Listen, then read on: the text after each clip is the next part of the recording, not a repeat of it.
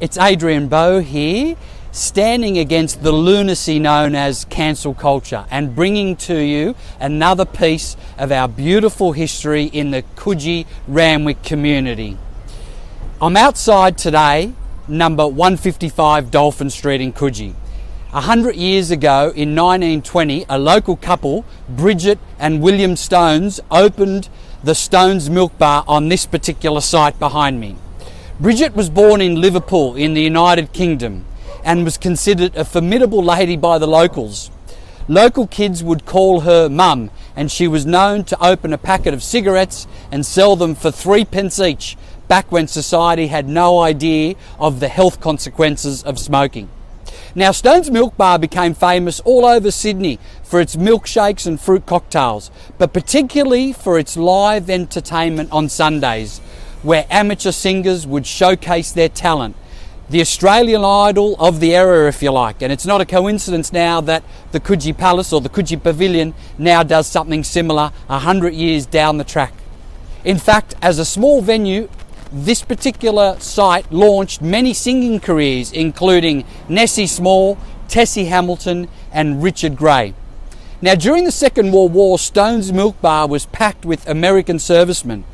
An amazing piece of history in particular is that Prince Philip was known to have been a customer here as a young bachelor naval officer.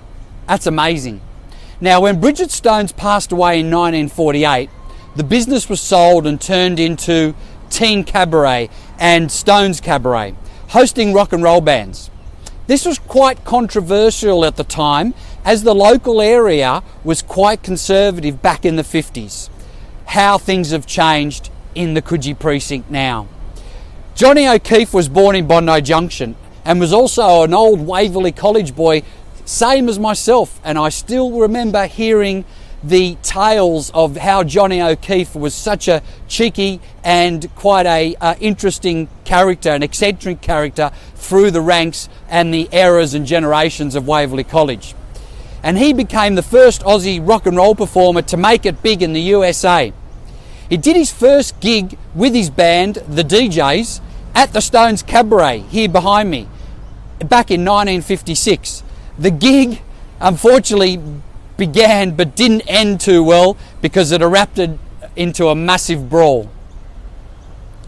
Now, eventually, the bar closed in 1967 and was reopened as a Hungarian restaurant then in 1978. It turned into the Coogee Comedy Theatre restaurant and once became a venue for live acts. Eventually, this little pocket of Coogee history was demolished and replaced with the apartment building that's now behind me, being 155 Dolphin Street. However, a recent social media campaign by a guy named Little Bobby has led the Randwick City Council erecting a plaque to relate a summary of his history to avoid it being forgotten. So that's a really good initiative there by Randwick City Council and also by that particular chap named Little Bobby. Now, over my 31 years in selling in Coogee, I've helped transact hundreds of properties on Dolphin Street and the surrounding areas, both as an auctioneer as an agent.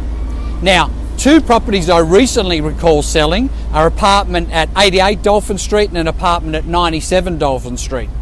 Also, I've been very fortunate enough to actually sell two apartments at 155 Dolphin Street, which is the site in discussion today, being apartments 2 and apartment 7 on multiple occasions. Now, in total, there are 254 units and 26 houses on Dolphin Street. 30% being owner occupied, 70% rented. Interesting anecdote there, just given the interest in rental accommodation being such close proximity to the beach here on Dolphin Street.